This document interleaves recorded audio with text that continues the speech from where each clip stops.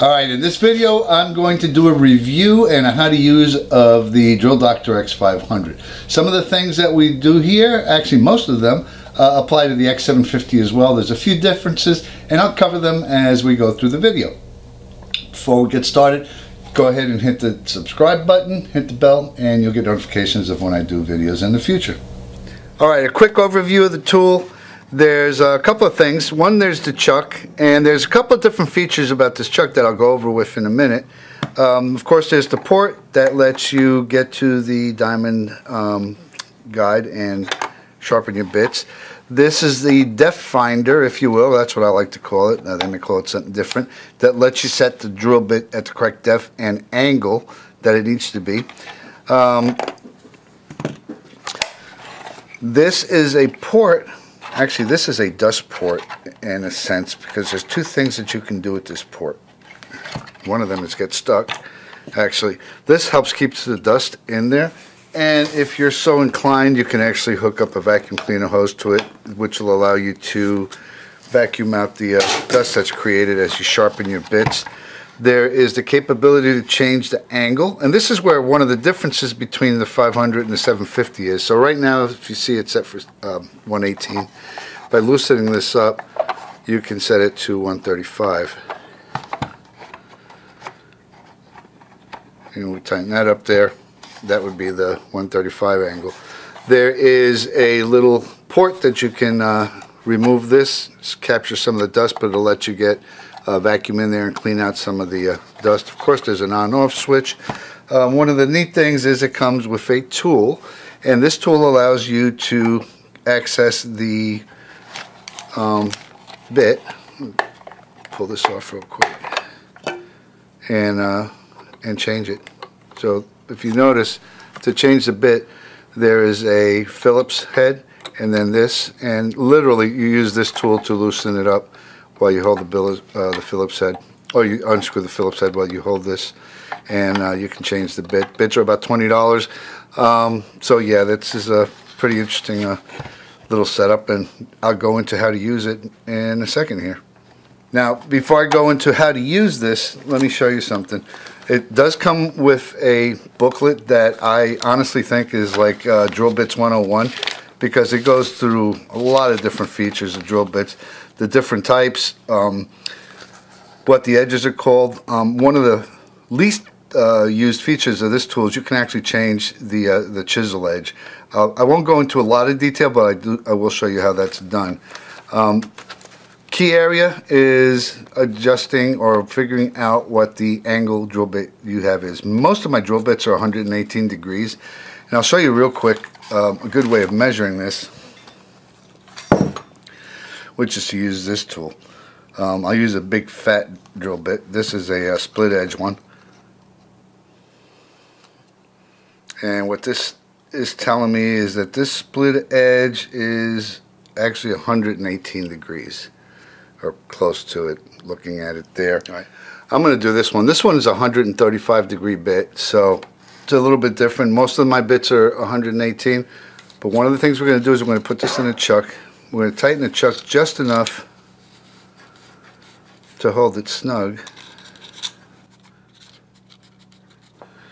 We want to be able to move it in and out, but we don't want it to fall out. And we're going to use this. Now, you want to make sure that this guide here, it matches up with the 118. And I mentioned about changing the angle of the chisel. The way you would do that is to line this up with one of these slots here rather than the 118 and uh, that'll give you a few degrees of difference in that. But we're just going to do a straight sharpening. So what I'm going to do is I'm going to open up this grip. I'm going to set this in here. I'm going to push this as far forward as I can. Now I want to turn it so that these two fingers line up and grip the narrowest part of that drill bit. At that point, we want to tighten the chuck a little bit, remove it, and tighten it a little bit more. Now, we're going to turn this on. Uh, before I go through the sharpening process, I'm going to line up this index with the top of this. Now this swivels uh, back and forth a little bit, shouldn't. Let's tighten it up so it doesn't move. And um, as we turn, I'm going to keep pressure forward on top and you're going to hear grinding noise. And I'll keep doing this until I no longer hear grinding noise. All right, so let's go ahead and get this started.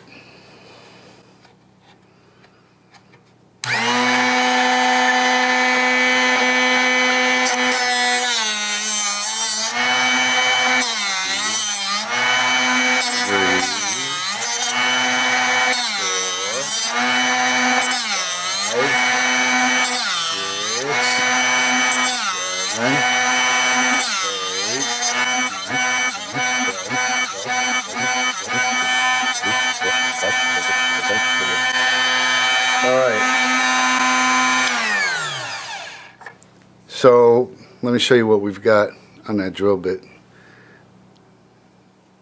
It should be nice and sharp now. Now it no longer has a split point. Now to do a split point, you use this port on the side. And what you do is you line this index mark with a mark here. And you literally push it in. And I'll show you what happens when you do that.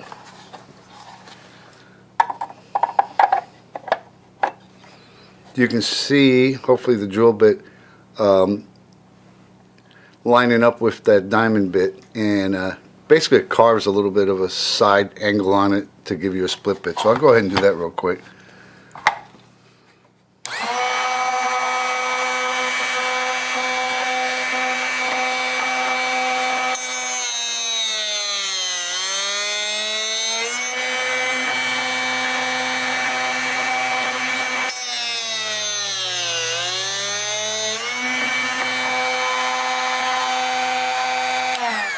So what the guide says to do is to push it until it won't go no further, then rotate it to the other side and do the same thing.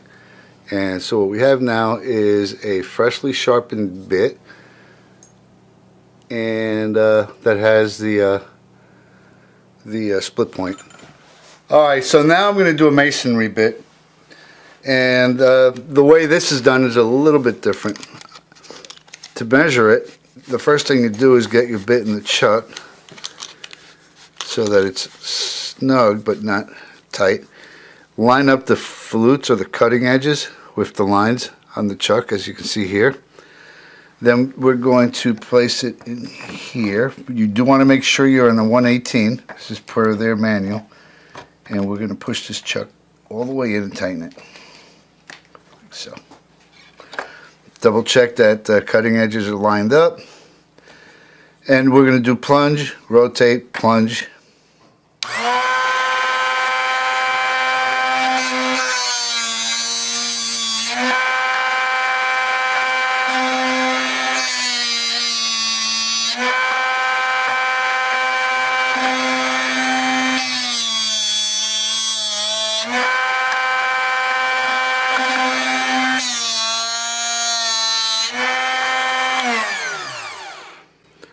And we could go a little more, but I'm happy the cutting tip is, the cutting edge is fine. Um, if I go a little more, it'll take it out to the edges, but I think we're good right here. And that was it. That was really simple. I mean, how long did that take? 20, 30 seconds? So, yeah. All right, so my overall recommendation is, is if you're an avid DIYer, use a lot of drill bits, um, especially the big fat ones like this, uh, you definitely should invest in one for the price. Uh, I have saved myself a significant amount of money by sharpening my bits and not throwing them away. Uh, the smaller bits, man, not so much. The big, like this guy is probably $30 bit now, so um, it, pay, it has paid for itself. Anyway, I hope you've enjoyed this video. If you have, hit share and like, and uh, don't forget to subscribe. Thanks for watching.